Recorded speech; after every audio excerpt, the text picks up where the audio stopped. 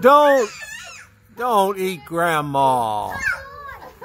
No. You bad sharks, leave Grandma alone. Help her, Van. I don't want nothing bad to happen to Grandma. We'll take care of Grandpa.